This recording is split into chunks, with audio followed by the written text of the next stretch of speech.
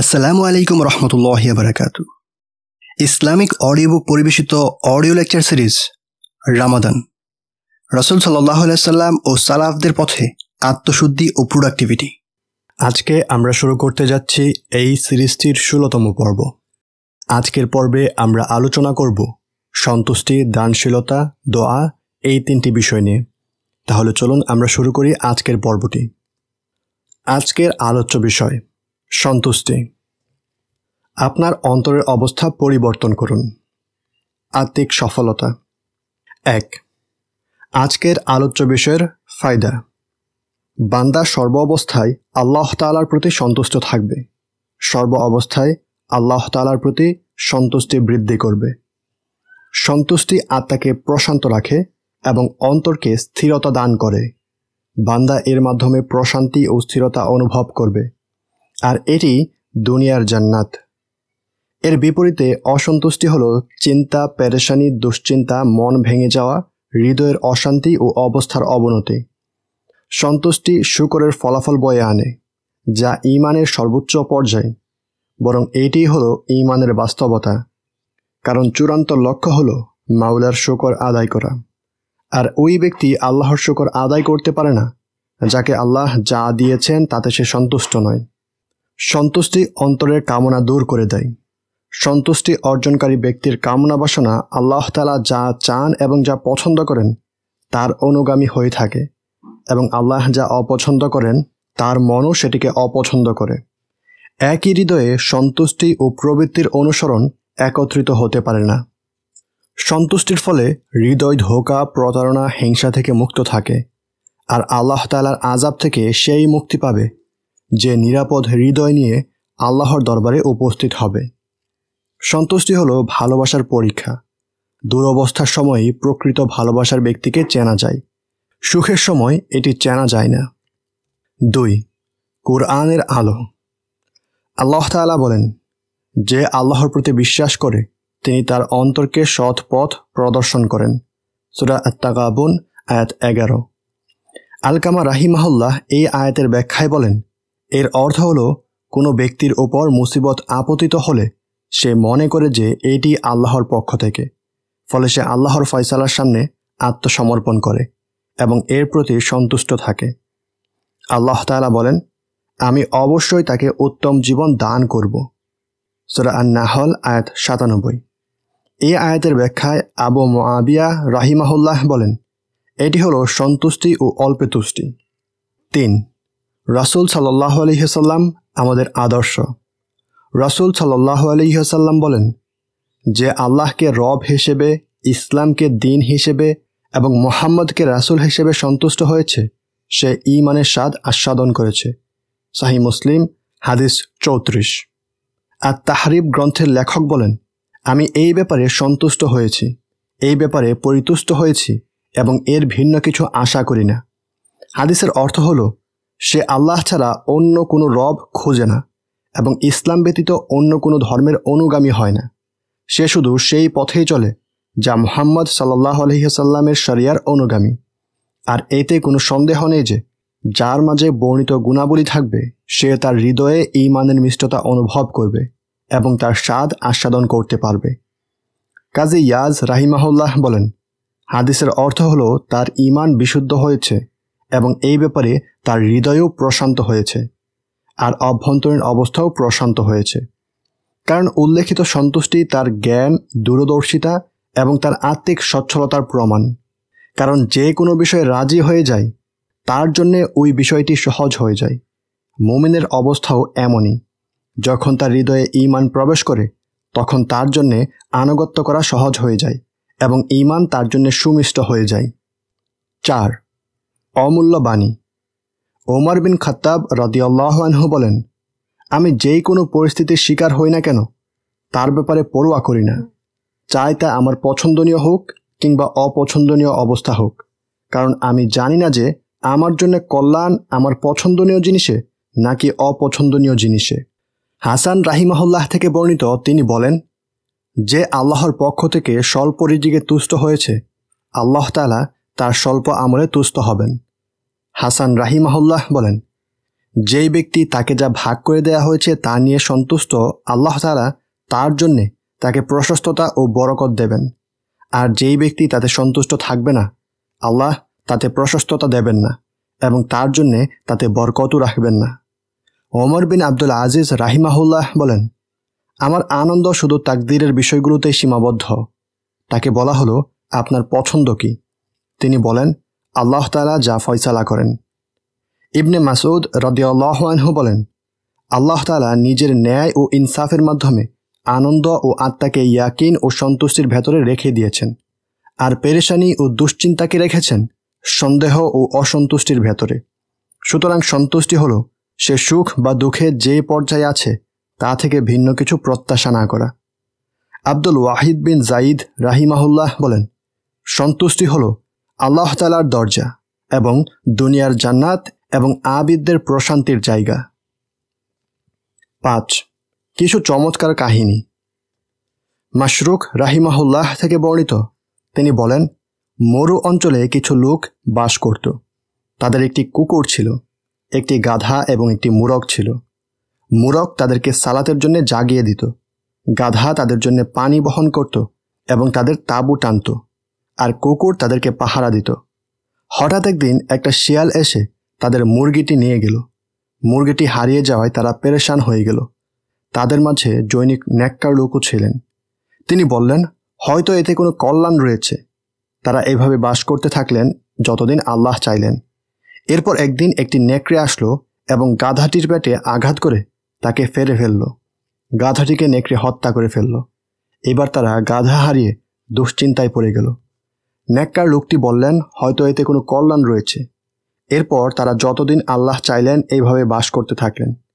এর কিছুদিন পর আবার তাদের কুকুরটি আক্রান্ত হলো। তখন নেককার লোকটি বললেন, হয়তো এতে কোনো কল্যাণ রয়েছে। এরপর আল্লাহ যতদিন চাইলেন তারা অবস্থান করতে থাকল। হঠাৎ একদিন সকালে তারা দেখল যে তাদের শত্রুপক্ষ তাদের আশেপাশের সকলকে বন্দি করে মেরে ফেলেছে এবং শুধু তাদেরকেই বাকি রেখেছে। শত্রুপক্ষ তাদের ছাড়া অন্যদেরকে গ্রেফতার করার কারণ হলো, অন্য লোকেদের কাছে শব্দ ও শোরগোল করার মতো জিনিস ছিল, যা ওই লোকেদের কাছে ছিল না। কেননা কুকুর, মুরগ ও গাধা হঠাৎ আওয়াজ করে উঠবে, এমন সব আগেই ধ্বংস হয়ে গেছে। ইমরান বিন হোসাইন রাহিমাহুল্লাহ নিজের কষ্টের কথা ব্যক্ত করলে তার জৈনিক প্রতিবেশী তার কাছে আগমন করল। তিনি তাকে তার সেবার মন্থর দেখতে পেলেন। তখন সে বলল, হে আবু নজাইদ আমাকে যে জিনিসটি আপনার সেবা করতে বারণ করছে, তা হলো আমি আপনার মাঝে কোনো ক্লান্তি দেখতে পাচ্ছি না। তিনি বললেন, তুমি সেবা করো না। কেননা আমার কাছে তাই পছন্দনীয়, যা আল্লাহ তালার কাছে পছন্দনীয়। তুমি আমার অবস্থা দেখে হতাশ হয়ে যেও না। আমার অতীতের গুনাহের শাস্তির ব্যাপারে তোমার কি অভিমত? আর এখন আমি আল্লাহ তালার কাছে বাকি জীবনের জন্য ক্ষমা আশা করি। কারণ তিনি বলেছেন, তোমরা যেই মুসিবতে পতিত হও তা তোমাদের হাতের কামাই এবং তিনি অনেক কিছু ক্ষমা করে দেন। ছয়, রামাদানের সন্তুষ্টি। রামাদান হলো বাস্তবিক এক শিক্ষক, যেখানে কার্যকর পদ্ধতিতে সন্তুষ্টির অনুশীলন হয়। আপনি এখানে পুরো দিন পানাহার থেকে বিরত থেকে সন্তুষ্ট রয়েছেন এবং এত গরম ও ক্লান্তি সত্ত্বেও সাওয়াবের আশায় সন্তুষ্ট চিত্তে কষ্ট সহ্য করছেন। আপনার আশা হলো আল্লাহর কাছে থাকা প্রতিদান এবং সওয়াব অর্জন। এই বিষয়টি কেন রামাদানের পর আমাদের হৃদয়ে বাকি থাকে না? যদি তা রামাদানের পর বাকি থাকত, তাহলে একই সওয়াব ও প্রতিদানের আশায় আল্লাহর ফয়সালার ব্যাপারে সন্তুষ্ট থাকতাম। সাত, দোয়া। হে আল্লাহ, আমাকে আপনার ফয়সালার ব্যাপারে সন্তুষ্ট রাখুন। আপনার নির্ধারিত তাকদিরে আমাকে বরকত দান করুন। যেন আমি আপনার পিছিয়ে দেয়া কোনো বিষয়ে তাড়াহুড়ো না করি এবং আপনি যে জিনিসকে দ্রুত দিতে চাচ্ছেন তাকে বিলম্বিত করা পছন্দ না করি। হে আল্লাহ, সৃষ্টির উপর আপনার ক্ষমতা এবং আপনার অদৃশ্যের ইলমের ব্যাপারে যতক্ষণ আমার জীবনে কল্যাণ বাকি থাকবে, ততক্ষণ আমাকে জীবিত রাখুন এবং যখন আমার মৃত্যুতে কল্যাণ, তখন আমাকে মৃত্যু দান করুন। হে আল্লাহ, আপনার ফয়সালার পর তার প্রতি আমার সন্তুষ্টি দান করুন। আট। যথেষ্ট কথা হয়েছে। এখন আমল দেখার বিষয়। আজকের পর থেকে আমি আর কখনোই মানুষকে সন্তুষ্ট করতে গিয়ে আল্লাহ তালাকে অসন্তুষ্ট করব না। স্রষ্টার অবাধ্য হতে সৃষ্টির কোনো আনুগত্য নেই। মানুষের সন্তুষ্টি প্রত্যাশা করা হলো দারিদ্রের আলামত। যে মানুষের সন্তুষ্টি অন্বেষণ করে, সে আল্লাহর অসন্তুষ্টিতে পতিত হয়। আর যে আল্লাহর সন্তুষ্টি অন্বেষণ করে, সে মানুষ থেকে তার আশা ছেড়ে দিয়েছে। আল্লাহ তালা আমার ব্যাপারে যে ফয়সালা করেছেন, সেই ব্যাপারে আমি কখনোই আপত্তি করব না। আর এই বিশ্বাস রাখব যে, আল্লাহ আমার জন্য যা ফয়সালা করেছেন, তাই আমার জন্য কল্যাণকর। হয়তো অনেক জিনিস আমরা অপছন্দ করি, কিন্তু আল্লাহ তালা তাতে অনেক কল্যাণ রেখে দিয়েছেন। আমার থেকে উপরে যে আছে, তার প্রতি হিংসা হয়ে তাকাবো না, আর আমার থেকে ছোট যে আছে, তার প্রতি অহংকারী হয়ে তাকাবো না। নয়, সন্তুষ্টির সূর্য ডুবে গেছে। আল্লাহ তালার নির্ধারিত তাকদিরের উপর আপত্তি করা এবং অসন্তুষ্ট হওয়ার মতো ব্যাধি অনেকের মাঝে পরিলক্ষিত হচ্ছে। এমন ব্যক্তিরা ভেতরে ভেতরে প্রতিশোধ পরায়ণ। যদিও তারা মুখে বলে না, কিন্তু বাস্তব কি তারা খুব ক্রোধান্বিত। তাদের অন্তরে অনেক আপত্তি ও প্রশ্ন থেকে যায়। তার প্রশ্ন কেন এমনটি হলো? এটি কীভাবে হয়েছে? অসন্তুষ্টি আল্লাহ তালা তার ফাইসালা এবং তাকদের, হেকমাত ও ইলমের ব্যাপারে সন্দেহের দোয়ার খুলে দেয়। অসন্তুষ্ট ব্যক্তির হৃদয় খুব কমই সন্দেহ থেকে মুক্ত থাকে, ফলে সে নিরাপদ হৃদয় নিয়ে আল্লাহর সাথে সাক্ষাৎ করতে পারে না। অসন্তুষ্টি দুনিয়ার পরিতাপের জন্ম দেয়, আর এটি পরীক্ষিত বিষয়। আর আখিরাতের অনুশোচনা তো আরও বেশি, কারণ আপনি দুনিয়াতে আল্লাহর প্রতি অসন্তুষ্ট হওয়ার কারণে আখিরাতে আল্লাহ তালার প্রতি অসন্তুষ্ট হবেন। বিশ, আজকের আলোচ্য বিষয়। দানশীলতা। আপনার ইবাদতের মান উন্নয়ন করুন। সম্পদশালী হওয়া সহজ পথ। এক, আজকের আলোচ্য বিষয়ের ফায়দা। পুণ্য অর্জন। আলবিররু বা পুণ্য শব্দটি সব ধরনের কল্যাণের অর্ধেককে অন্তর্ভুক্ত করে। আল্লাহ তালা বলেন, যতক্ষণ না তোমরা তোমাদের পছন্দের জিনিস থেকে ব্যয় করবে, ততক্ষণ তোমরা পুণ্যের নাগাল পাবে না। আর তোমরা যা কিছু ব্যয় করো, আল্লাহ তা ভালো করে জানেন। সোরা আলে ইমরান, আয়াত বিরানব্বই। আল্লাহর দানের সামনে নিজেকে পেশ করা। যদি আপনি আপনার ভাইয়ের প্রতি দানশীল হন, তাহলে সে নিজের সীমিত শক্তি ও সম্পদ দিয়ে আপনার প্রতিও দানশীল হবে। তাহলে চিন্তা করুন, আপনার সাথে সর্বোচ্চ দানশীল সত্তার আচরণ কেমন হবে? অথচ তিনি হলেন সেই সত্তা যার কাছে থাকা নিয়ামত রাজিকে কোনো আকল উপলব্ধি করতে পারে না এবং দানের ফলে তার ধনভাণ্ডার ফুরিয়ে যায় না। এমন কে আছে যে আল্লাহকে উত্তম ঋণ দেবে? তাহলে আল্লাহ তা তার জন্যে কয়েক গুণ বাড়িয়ে দেবেন। আল্লাহ তোমাদের সম্পদ কমাতেও পারেন, বাড়াতেও পারেন। আর তারই কাছে তোমাদের ফিরিয়ে নেওয়া হবে। সোরা আল বাকারা আয়াত দুইশো পঁয়তাল্লিশ। জান্নাতের কক্ষসমূহের বাসিন্দা হতে পারা। রসুল সাল্লাহ আলহিসাল্লাম বলেন, নিশ্চয় জান্নাতে এমন কিছু কক্ষ রয়েছে যার ভেতর থেকে বাইরের দৃশ্য এবং বাইরে থেকে ভেতরের দৃশ্য অবলোকন করা যাবে। জৈনিক বেদুইন জিজ্ঞাসা করল, হে আল্লাহর রাসুল, এগুলো কার জন্যে? তিনি বললেন, এগুলো সেই ব্যক্তির জন্যে যে উত্তম কথা বলে, অনাহারিকে আহার করায়, সালামের প্রচার করে এবং মানুষ যখন ঘুমিয়ে থাকে, তখন রাতের বেলা সে সালাত আদায় করে। ইবনু সুন্নিহ কর্তৃক আমালুল ইয়াউমি অল্লাইল তিনশো উনিশ পৃষ্ঠা। মৃত্যুর পরও ফলাফল বাকি থাকা। রসুল সাল্লাহ আলহিহাসাল্লাম বলেন, যখন মানুষ মৃত্যুবরণ করে, তখন তার তিনটি আমল ব্যতীত সকল আমল বন্ধ হয়ে যায়। তন্মধ্যেও একটি হলো সাদাকায়ে জারিয়া। সাহিহুল মুসলিম, হাদিস এক হাজার ছয়শো একত্রিশ। ফেরেস্তাদের দোয়া অর্জনের মাধ্যমে সফলতা লাভ করা। রাসুল সাল্লাহ আলহিহাসাল্লাম বলেন, বান্দারা যেই দিনই সকালে উপনীত হয়, সেই দিনই দুজন ফেরেস্তা জমিনে অবতরণ করেন। তাদের একজন বলেন, হে আল্লাহ, দানকারীকে তার দানের উত্তম বদলা দিয়ে দিন। আর অপরজন বলেন, হে আল্লাহ, কৃপণকে ধ্বংস করে দিন। সহিহুল বুখারি, হাদিস এক হাজার চারশো বিয়াল্লিশ। দুই, কুরআনের আলো। আল্লাহ তালা বলেন, তোমরা যা কিছু ব্যয় করো, তিনি তা আবার দিয়ে দেন। তার বিনিময় দিয়ে তা পুষিয়ে দেন। তিনি শ্রেষ্ঠ রিজিক দাতা সুরা সাবা, আয়াত উনচল্লিশ। ব্যয়কারী যা দান করে আল্লাহ তাকে তার চেয়ে উত্তম জিনিস বিনিময় স্বরূপ দিয়ে দেন। দুনিয়াতে তার জন্য বিকল্প দেন এবং আখিরাতে রয়েছে সওয়াব ও উত্তম প্রতিদান। এখানে গোপন অর্থ হলো, যদি তোমরা ব্যয় না করো, তাহলে কীভাবে তিনি বিকল্প দান করবেন এবং তোমাদের সম্পদ বাড়িয়ে দেবেন? এই কারণেই বর্ণিত আছে, যুগান অনুযায়ী আসমান থেকে সাহায্য নাজিল হয়। যে বিকল্প পাওয়ার উপর দৃঢ় বিশ্বাস রাখে সে সর্বোত্তম জিনিস দান করে। এই প্রতিশ্রুতির ব্যাপারে পেছনে উল্লেখিত আয়াতে আল্লাহ তালা তিনটি তাকেত বা নিশ্চয়তা উল্লেখ করেছেন। আল্লাহ তালা নিজের উপর সাথে সাথেই প্রতিদান প্রদান আবশ্যক করে নিয়েছেন। আল্লাহ বলেন, তিনি তা আবার দিয়ে দেন। ব্যাপকতাকে সামিল করে। সুতরাং যে কোনো ধরনের জিনিস আপনি ব্যয় করতে পারেন, চাই তা সম্পদ হোক, খাবার হোক বা মর্যাদা অথবা শ্রম। অথবা যত ছোট জিনিসই হোক না কেন, মানুষ যাকে তুচ্ছ মনে করে এবং যত বড় জিনিসই হোক না কেন, মানুষ যাকে খুব বড় মনে করে। আল্লাহ তালা বলেন, তিনি শ্রেষ্ঠ রিজিক দাতা আল্লাহ তালাই একক রিজিক দাতা এবং রিজিক দানে তার সাথে কেউ শরিক নেই। এতে এই কথার প্রতি ইঙ্গিত করা হয়েছে যে, অন্যের মাধ্যমে যে রিজিক পৌঁছেছে, তা আল্লাহরই অনুগ্রহ, যা তিনি নিজে কতক মাখলুকের হাতের উপর দিয়ে পরিচালনা করেছেন।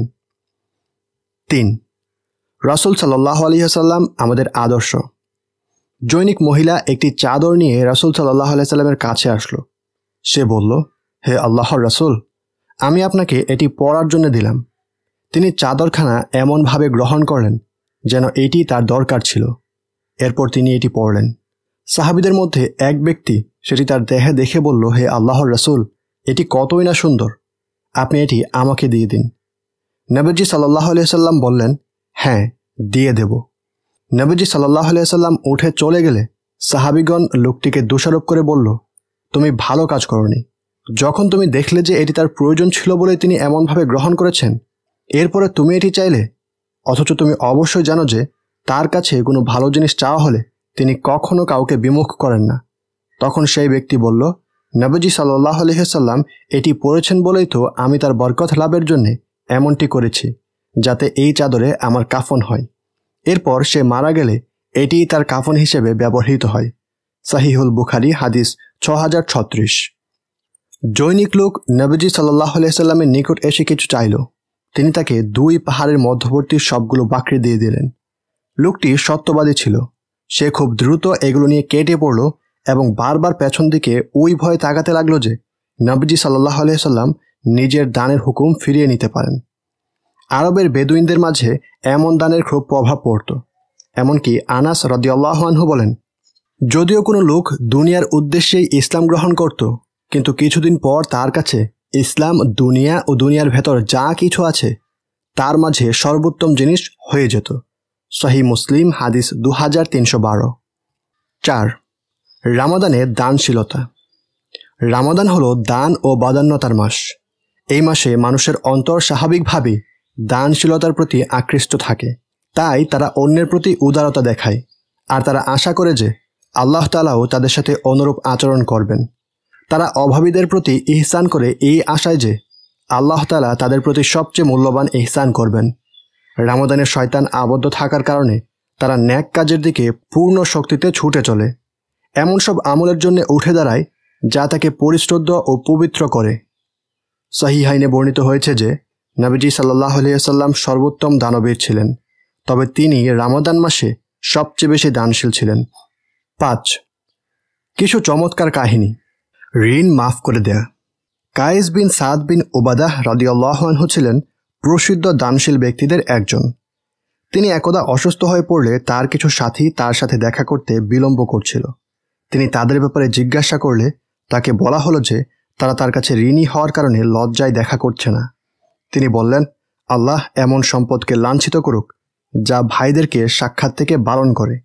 এরপর তিনি একজন ঘোষককে ডেকে ঘোষণা দিতে বললেন যে যে কাইসের কাছে ঋণই আছে, সে ওই ঋণ থেকে মুক্ত। এই ঘোষণার পর সেদিন সন্ধ্যা নাগাদ সাক্ষাৎকারীদের ভিড়ের ফলে তার ঘরের দরজার কপাট ভেঙে গেল। এমনই হয়ে যান। ইব্রাহিম বিন বাশার বলেন, আমি ইব্রাহিম বিন আধাম রাহিমাহুল্লাহের সাথে ত্রিপুলি নামক একটি এলাকায় গেলাম। আমার সাথে দুটি রুটি ছিল। এছাড়া আমাদের কাছে আর কিছুই ছিল না। এমন সময় হঠাৎ এক ভিক্ষুক এসে কিছু চেয়ে বসল। তিনি আমাকে বললেন, তোমার কাছে যা আছে তাই ওই লোকটিকে দিয়ে দাও। আমি কিছুক্ষণ নীরবে দাঁড়িয়ে রইলাম। তিনি বললেন, তোমার কি হলো? সাথে যা আছে তাকে দিয়ে দাও। তিনি বললেন, আমি তাকে তা দিয়ে দিলাম। তবে তার কাজ দেখে আমি হতবাগ হয়ে গেলাম। ইব্রাহিম বিন আদহাম আমাকে বললেন, হে আবু ইসহাক, আগামীকাল তুমি আল্লাহ তালার সামনে সেই জিনিস পাবে যা কখনো পাওনি।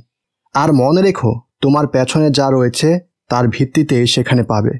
যা রেখে গেছ তার ভিত্তিতে নয়। সুতরাং নিজের জন্য প্রস্তুতি গ্রহণ করো। কারণ তুমি জানো না যে কখন হঠাৎ তোমার রবের আদেশ চলে আসবে। ইবনে বাশার রাহিমাহুল্লাহ বলেন তার কথায় আমার কান্না চলে আসলো এবং তিনি আমার সামনে দুনিয়াকে একদম তুচ্ছ হিসেবে পেশ করলেন। তখন তিনি আমার দিকে তাকিয়ে দেখলেন যে আমি কান্না করছি। তখন বললেন, বিষয়টি এমনই, সুতরাং তুমি এর মতোই হয়ে যাও। আপনি কি নিজের কথা ভুলে গেছেন?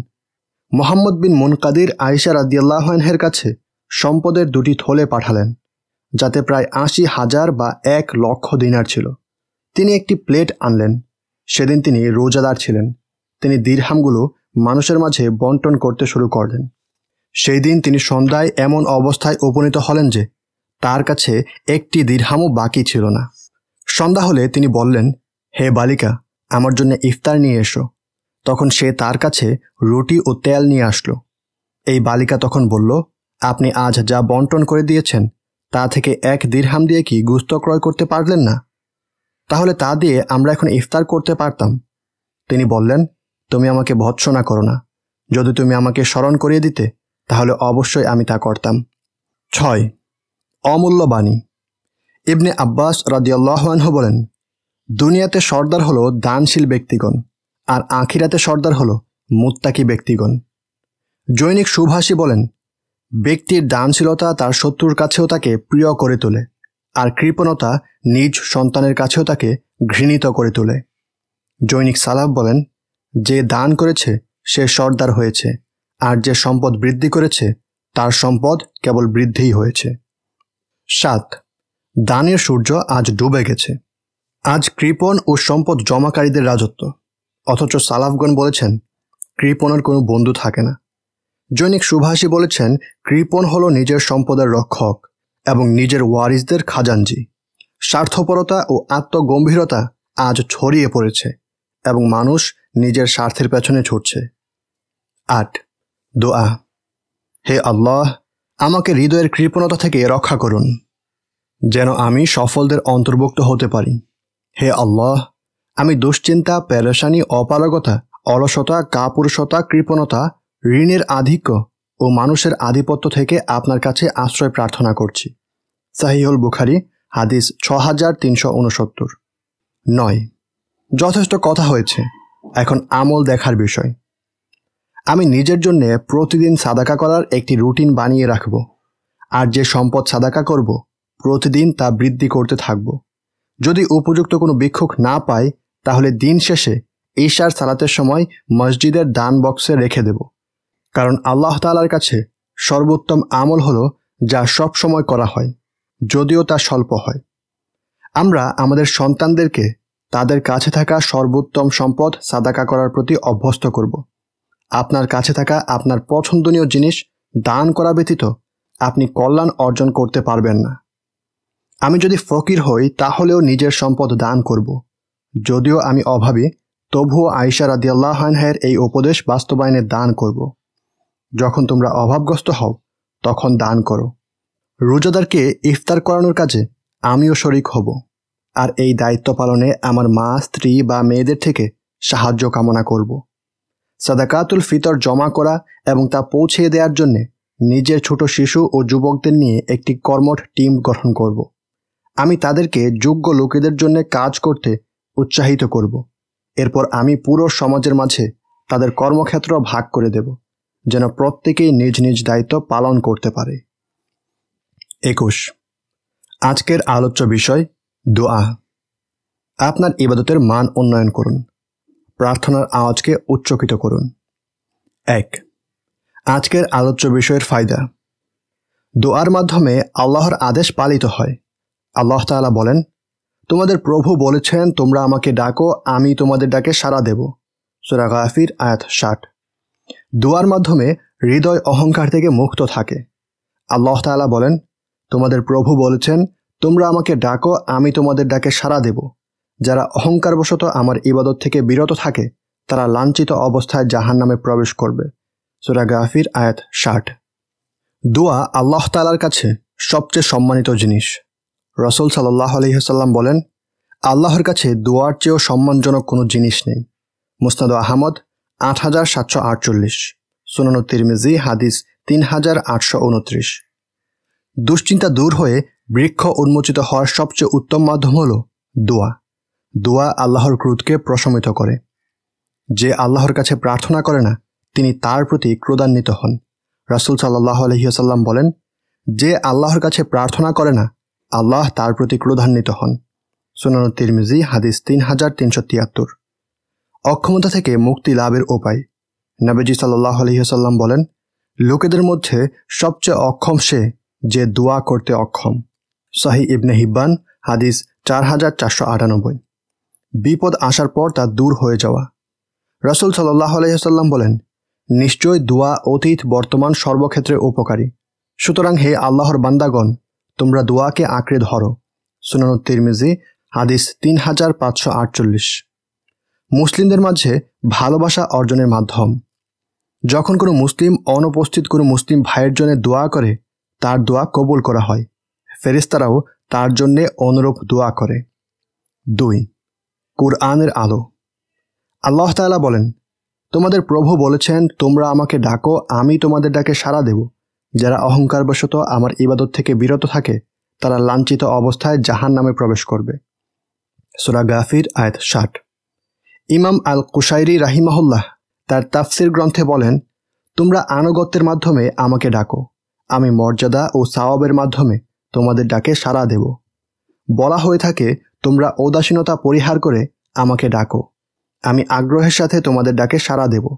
তোমরা গুনাহ ছেড়ে আমাকে ডাকো। আমি অনুগ্রহের সাথে তোমাদের ডাকে সাড়া দেব।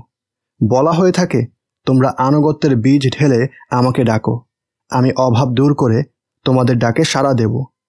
বর্ণিত আছে, তোমরা প্রার্থনার মাধ্যমে আমার কাছে দোয়া করো। আমি দান ও অনুগ্রহের সাথে তোমাদের ডাকে সাড়া দেব। প্রিয় ভাই, এই আয়টি নিয়ে চিন্তা করুন। তাহলে ভালোবাসা, কোমলতা ও নির্মলতার চূড়ান্ত রূপ দেখতে পাবেন।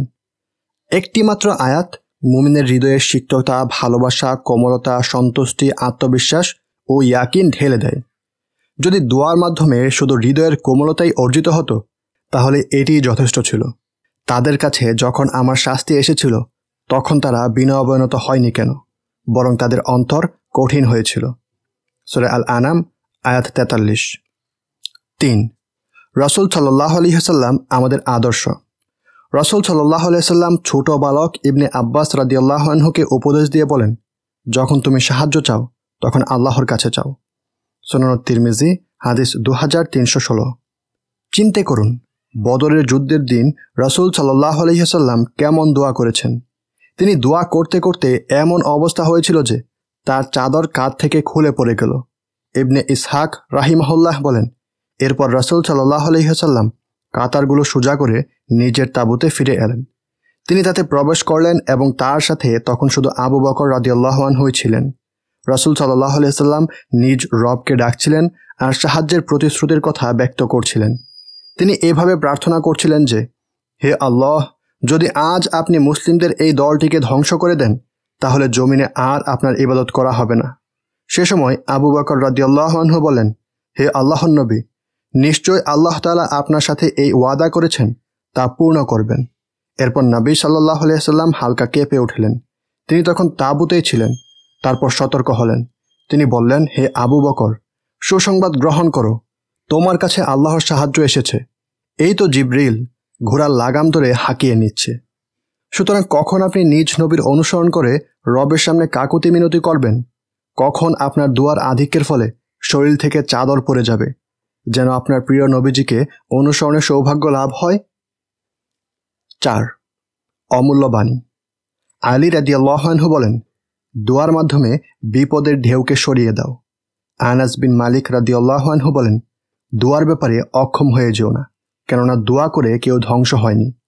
আবু জার রাদি রাদিয়াল্লাহু বলেন, ন্যাক কাজের সাথে সাথে দোয়া তেমনই যথেষ্ট হয়, যেমন খাবারের সাথে লবণ যথেষ্ট হয়। মুজাহিদ রাহিমাহুল্লাহ বলেন সময়গুলোর শ্রেষ্ঠ সময়ে সালাত নির্ধারণ করা হয়েছে। সুতরাং সালাতের পর দোয়ার ব্যাপারে তোমরা যত্নশীল হও। সোফিয়ান বিন ওয়াইনা রাহিমাহুল্লাহ বলেন, তোমাদের কেউ যেন নিজের ব্যাপারে দোয়া করা থেকে বিরত না হয়। কারণ আল্লাহ তালা সবচেয়ে নিকৃষ্ট প্রাণী ইবলিশের দোয়াও কবুল করেছেন। তার উপর আল্লাহ তালা লানত বর্ষিত হোক। সে বলল, যেদিন তাদেরকে উঠানো হবে, সেই দিন তথা কেয়ামতের দিন পর্যন্ত অবকাশ দিন সুরা আল আরাফ আয়াত চোদ্দ। তিনি বললেন, তোমাকে সময় দেয়া হলো। সুরা আরাফ, আয়াত পনেরো। পাঁচ। একটি চমৎকার কাহিনী। ইবনে জারির, ইবনে খোজাইমা, মোহাম্মদ বিন নাসর আল মারুজি এবং মোহাম্মদ বিন হারুন একদা মিশরের উদ্দেশ্যে সফর শুরু করলেন।